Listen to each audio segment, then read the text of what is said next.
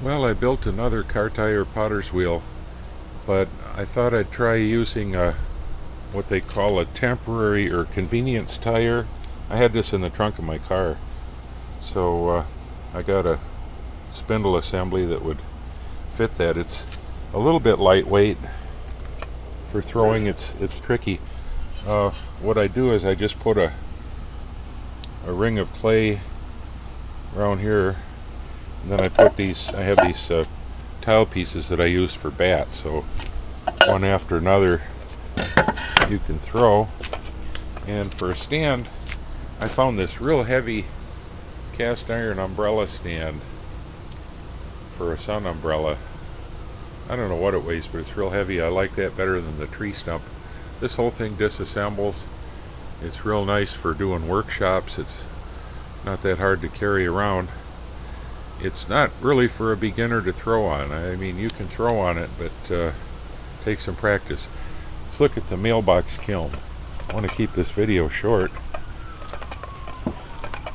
Anyhow, I uh, I got some Fiberfrax uh, refractory material. There's a little 20 pound bottle. Just a quick overview of this kiln, the burner